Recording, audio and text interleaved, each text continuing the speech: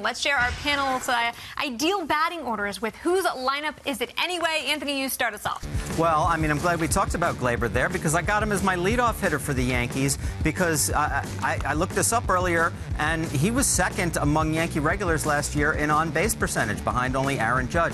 So I like him right in front of Juan Soto and Aaron Judge. There's plenty of RBI opportunities there for those guys. And then I have another controversial, maybe not controversial, but another one that may raise an eyebrow. Giancarlo Stanton fifth. Uh, you know, I know there are a lot of people who are down on Stanton, even the newly slim Stanton, but I feel like uh, with the, the, resume there, he deserves the respect of hitting at, at a midpoint in the lineup, uh, even though the results were not midpoint in the lineup last year, which I'm sure he's well aware of. And uh, you know, but I think there's there's a lot of right-left uh, alternating there because that's a big Boone thing. Uh, you know, you don't want to get locked in and have two lefties back to back because then they can bring in their lefty specialist and blah blah blah.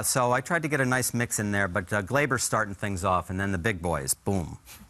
Uh, you want to? I did the right-left thing as well for my lineup, um, and I just think you had Gleyber up on top. I like DJ LeMahieu up on top uh, for mine, just because you know this is a stable veteran presence. I know he hasn't hit like he has in past years, but I do like that. Then you go Juan Soto, Aaron Judge, and then I have Giancarlo Stanton all the way down seventh.